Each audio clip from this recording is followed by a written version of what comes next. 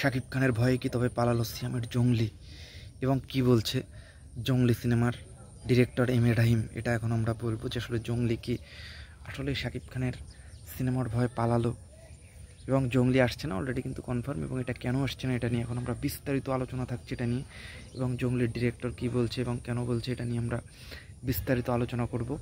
তো এটা জানতে হলে কিন্তু আপনারা ফিল্ম স্পায়ার সঙ্গেই থাকবেন। তো শুরুতে আমরা যে কথাটা বলব যে, জঙ্গলি কিন্তু মোটামুটি কনফার্ম ছিল যে ঈদুল আজহাতে আসছে এবং তাদের সিনেমার দম সেই লেভেলের ছিল। কিন্তু এখন যখন তারা সরে যাচ্ছে, লোকজন বলছে, শাকিব খানের ভয় পাচ্ছে, শাকিব খানের ওভার স্টারডমের কাছে শিয়াম জাস্ট উড়ে যেত, এরকম তো পক্ষে বিপক্ষে যুক্তি আছে এবং তারা তাদের ডিরেক্টর যে কথাটা বলছে, তো দেখেন, তো তাদের ডিরেক্টরের ভাষ্য মতে যে, জঙ্গলি যে প্যাটার্নের বা যে ঘরানার সিনেমা, শাকিব খানের তুফান কিন্তু সেই ঘরনার সিনেমা নয়। তো দুটো দুই ঘরনার সিনেমা হওয়ায় আমরা ওরকম প্রতিদ্বন্দ্বিতা বা ওরকম কিছু মনে করছি না এবং একা একটাই আমাদের ইন্ডাস্ট্রি এবং আসলে এই ছবির লাভ ক্ষতি নিয়ে আমরা যদি পরে আলোচনা করি, তো আমরা এখন যে ব্যাপারটা নিয়ে কথা বলব, যে এটার মুক্তির ডেটও কিন্তু ফিক্সড করেছে যে ঈদের এক মাসের ভিতরে সিনেমাটা যে কোনো সময় এটা রিলিজ দেবে। এটা আসলে তুফানের তুফানের উপর নির্ভর করছে। যদি তুফান যদি ভয়াবহ রকমের কিছু ধারণ না করে, তাহলে দুই, তিন সপ্তাহ পরে কিন্তু এটা রিলিজ দেবে। এবং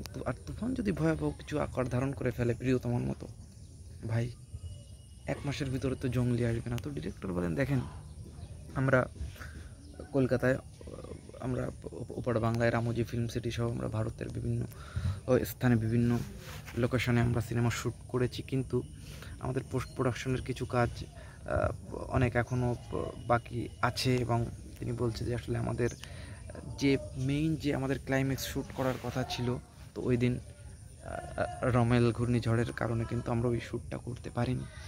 এবং ওই শ্যুটটা করতে না পারার কারণে কিন্তু আমরা যথাযথ সময় এটা এমন একটা প্রোডাক্ট যে একশো পার্সেন্ট যদি প্রিপার্ড করে যদি আপনাদের সামনে না আনতে পারি, তাহলে কিন্তু আপনারা সেই ফিল পাবেন না যে একটা সিনেমা বানালাম, আর আপনাদের সামনে নিয়ে আসলাম। ওরকম সিনেমা কিন্তু জঙ্গলি না।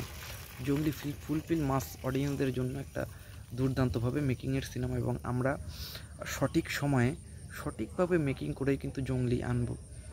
তো এটা কিন্তু, সে কিন্তু তার একটা ইন্টারভিউতে কিন্তু সাব জানিয়ে দিয়েছে ডিরেক্টর এবং ডিরেক্টর আরও বলছে যে, আমরা সবাইকে বলব যে সবাই আসলে তুফান সিনেমাটা দেখুন এবং সবাই জঙ্গলি সিনেমাটাও দেখুন। আমরা চাই যে ওই টিমও দেখবে এবং আমরাও আমাদের টিমও আমরা আসলে দেখব তুফান তো। এমনটাই কিন্তু বেশ সমঝোতার কথা, বললেও কিন্তু আসছে নানা রকম সুর। হ্যাঁ বলছে যে আসলে ছত্রিশ দিনে যেখানে তুফানের মতো দশ কোটি টাকা বাজেটের সিনেমা শ্যুট হয়ে যায়, ছত্রিশ দিনে সেখানে জঙ্গলির কেন তো টাল বাহানা? শাকিব খানের সঙ্গে এটে উঠবে না বা শাকিব খানের স্টারডমের কাছে সিয়াম আসলে দুর্বল বা সিয়ামের সিনেমা কেউ দেখবে না শাকিব খানের সিনেমার কাছে। তো এটা তো ডেফিনেটলি ট্রু যে ভালো ভালো সিঙ্গেল স্ক্রিন থেকে শুরু করে মাল্টিপ্লেক্সও শো পাবে না জঙ্গলি, তুফানের কাছে। এছাড়াও আরও কিন্তু নানা রকমের হিসাব নিকাশ কিন্তু এখানে কিন্তু রয়েছে। জঙ্গলি একে তো ওই ধরনের শো তো পাবে না। এছাড়াও জঙ্গলি আরও অনেক রকমের সমস্যা ফেস করবে। শাকিব খানের সিনেমার যে বাজার এবং শাকিব খানের সিনেমা নেওয়ার জন্য কিন্তু শাকিব সিয়ামের জঙ্গলি সরে গেল। এছাড়াও অতল চক্র সহ আরও অনেক সিনেমা আসার কথা। এখন তুফানের ঝড় এই লেভেলের যে আর কোনো আর কোনো সিনেমার সামনে আসলে দাঁড়াতে পারছে না। তুফান আসলে ওই লেভেলের তুফানি খেলে দিচ্ছে। তো এটা আসলে ভয়ে সরে গিয়েছে নাকি এটা? এখন আপনাদের কি মনে হয়? যেখানে পঁয়ত্রিশ দিনে তুফানের মতো সিনেমা শ্যুট সেখানে এত টালবাহানা আমরা অমুক দিন শুটিং করতে পারিনি তো অমুক দিন এটা পক্ষে বিপক্ষে যুক্ত আছে? আপনারা আপনাদের মূল্যবান মতামতটি আমাকে জানাবেন।